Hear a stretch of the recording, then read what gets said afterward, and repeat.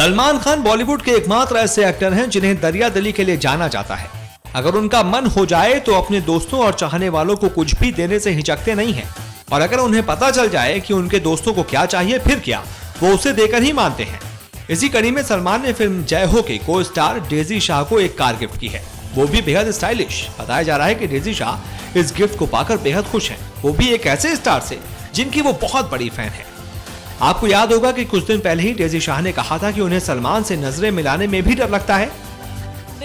Big fan of Salman Khan and inspire of working with him as is leading lady मैं आज भी उनकी fan हूँ तो मैं जब भी उनको आज भी देखती हूँ या आज भी मिलने जाती हूँ तो मतलब मेरा uh, मैं चौक हो जाती हूँ। मुझे दस बार सोचना पड़ता है फिर मेरे मुँह से आवाज़ निकलती है। तो डज या so that was my fan moment when I met him for the very first time लेकिन इस गिफ्ट के बाद तो पक्का है कि वो सल्लू मियाँ से न सिर्फ़ नज़रें मिला पाएँगी, बल्कि उनकी इस दरिया दिली के लिए उन्हें गले लगाकर शुक्रिया भी अदा करेंगी। खैर, हमें तो पता है, सलमान आप बेहद दरिया दिली के लिए जाने जाते हैं और इंडस्ट्री में अपने को स्टार और दोस्तों को गिफ्ट देते रहते हैं। ये सारी खूबियों की वजह से तो बॉलीवुड में आपकी एक अलग पहचान है, वरना कहाँ किसी में इतनी हिम्मत होती है कि वो अपने फ्रेंड्स को इतनी महँगी महँगी गिफ्ट दे।